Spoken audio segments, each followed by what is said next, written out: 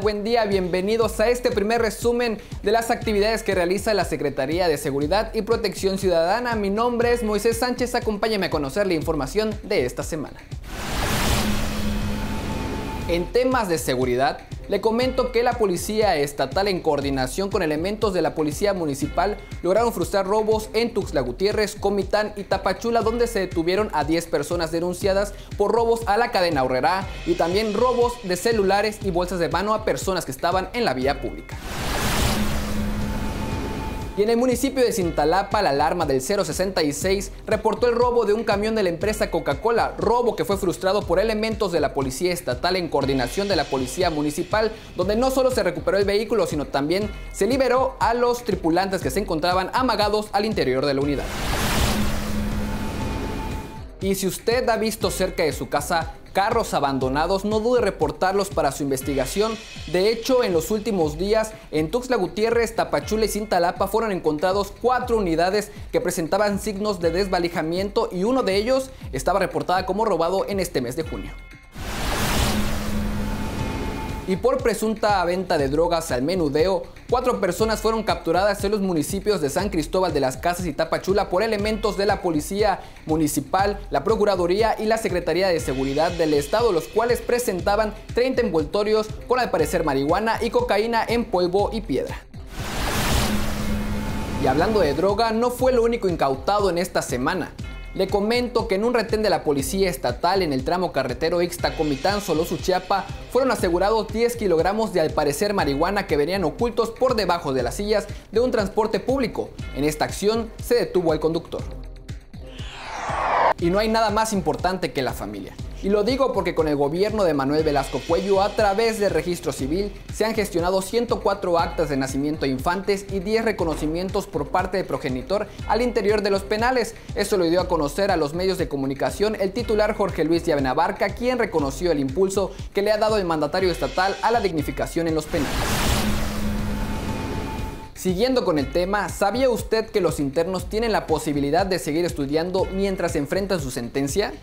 Pues fíjese, actualmente 50% de la población de los penales en Chiapas se encuentra cursando la primaria, secundaria y preparatoria y en últimos días la Secretaría de Seguridad a través de la Subsecretaría de Sanciones Penales realizó una gestión con la UNACH en donde se implementarán nueve licenciaturas en línea. En más, ¿le gustan las redes sociales? ¿Tiene usted Facebook o sus hijos siempre están metidos en la computadora? Entérese a través de la Policía Cibernética cómo prevenir delitos como acoso, fraude, extorsión y trata de personas. Dentro de nuestras actividades principales está lo que se conoce como el monitoreo de la red de Internet.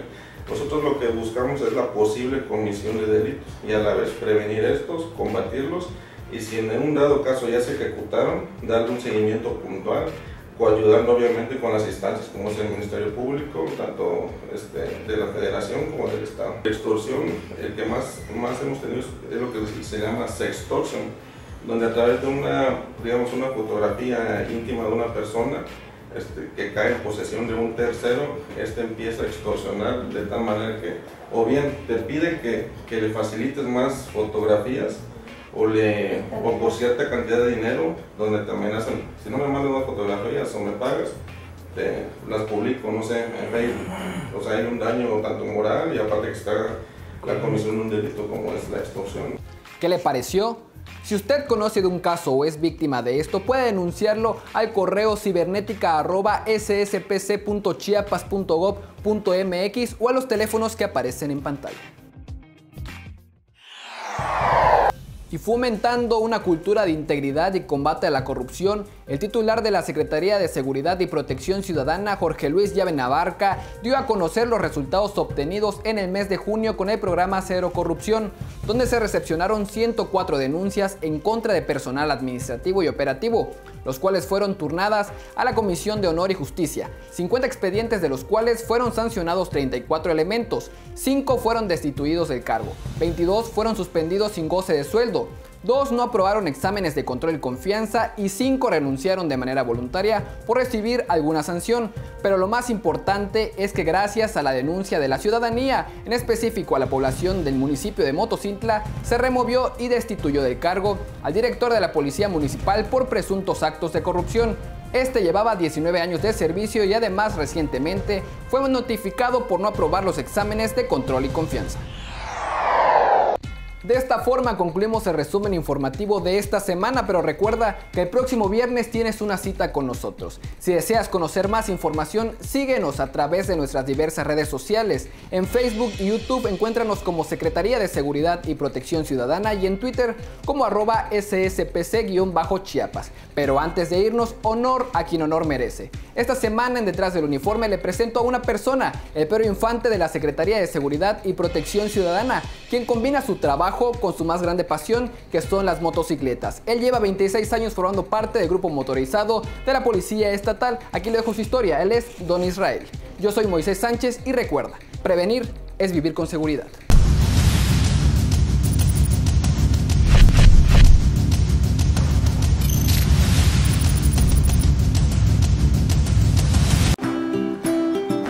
Siempre tuve un sueño desde chamaco de tener una propia moto.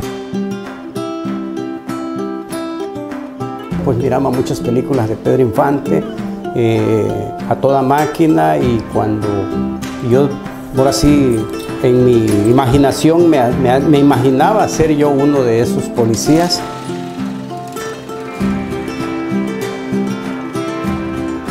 Y hoy actualmente pertenezco al grupo motorizado de la Secretaría de Seguridad Pública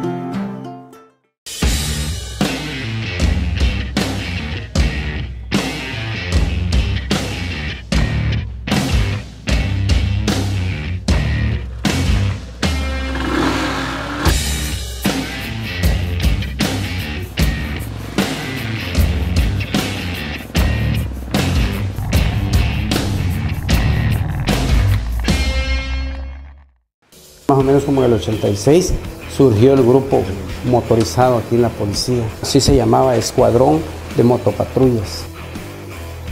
Es un grupo de policías que nos movemos en dos ruedas para darle seguridad a la ciudadanía.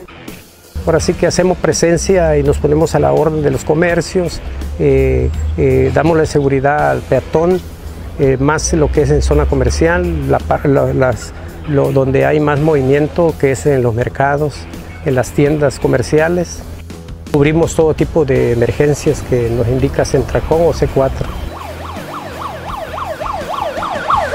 Con las motos hay lugares donde las, las, patrullas no pueden entrar o en la ciudad hay muchos embotellamientos y con lo que es la moto pues tenemos que estar zigzagueando en los vehículos para poder llegar y acudir rápido a un auxilio.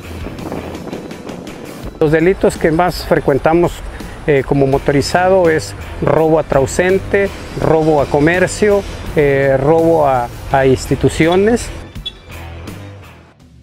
Tenemos una capacitación, lo que es mecánica de, las motos, eh, lo que es bujías, cambio de aceite, cambio de kit completo o cadena y corona de las motos, desde una llanta, una ponchadura, tener la herramienta para poder hacer la maniobra uno mismo. Mi pasión son las motos, moverme en dos ruedas, pero mi fobis, ya mis días de descansos, ya me dedico al... Soy hijo de agricultor y me dedico al campo, a sembrar este maíz, algunas plantas como, como plátanos, caña, este, aguacate, limón.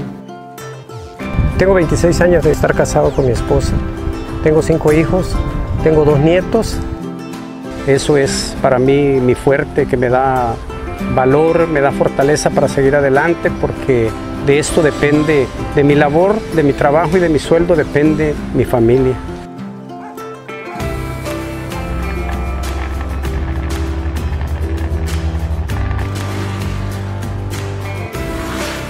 Soy Israel Jiménez García, orgullosamente pertenezco al grupo motorizado de la Secretaría de Seguridad y Protección Ciudadana desde hace 26 años.